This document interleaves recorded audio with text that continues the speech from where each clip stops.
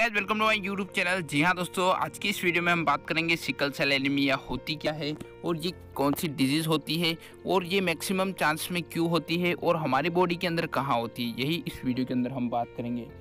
सबसे पहले मैं आपको बता दूँ सिकल सेल एनीमिया होता क्या है।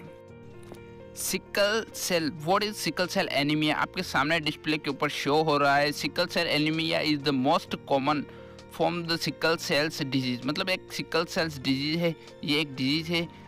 Serial disorder in which the body make sickle shape red blood cells जी हाँ दोस्तों आरबिक सी का जो शेप होता है, वो मतलब सिकल्स टाइप हो जाता है। नॉर्मल के अंदर आप देख सकते हैं, आपकी डिस्प्ले की शो हो रहा है नॉर्मल ब्लड जो ओवल शेप में होता है और सिकल सेल्स जो डिज़ीज़ होने के बाद जो एच होता है ना, वो लेस हो जाता है, जिस कारण जो आर होती हैं, उसकी उसकी साइज़ में चेंज हो जाता है। आर की नॉर्मल में क्या होता है और आर एनीमिया डिज़ीज़ में क्या होता है, आपकी डिस्प्ले के ऊपर शो हो रहा है, आप देख सकते हैं।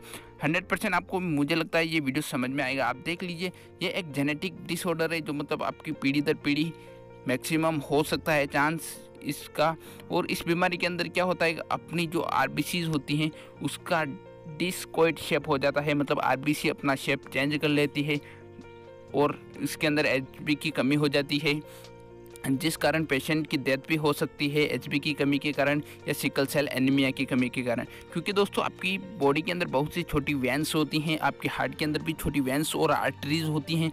उनके अंदर जो आरबीसी एक चेन टाइप में बन जाती है, जिस कारण आपको ऑक्सीजन की अपने बॉडी के अंदर कमी हो जाती है। क्योंकि एच का जो काम होता है, वो होता है ऑक्सीजन को केयर करना मतलब जो भी ऑर्गन्स होते हैं, वहाँ तक ऑक्सीजन पहुँचाना और सी रिमूव करना, ऐसे में ऑक्सीजन की अगर कमी हो जाएगी एच की अगर कमी हो जाएगी तो दोस्तों आपकी ओबियसली आपकी बॉडी में ऑक्सीजन की भी कमी हो जाएगी, जिस कारण ये डिज़ीज़ बहुत ही आपको नुकसान पहुँचा सकती है। आप देख सकते हैं आपके डिस्प्ले के ऊपर शो हो रहा है छोटी छोटी वेंस के अंदर ब्लॉकेज भी आ सकते हैं, आपको हार्ट अटैक होने के चांस भी हो सकते हैं और बहुत सी डिज़ीज़ आपको होने के चांस हो सकते हैं। सिकल सेल एनीमिया का आपको ट्रीटमेंट करवाना चाहिए।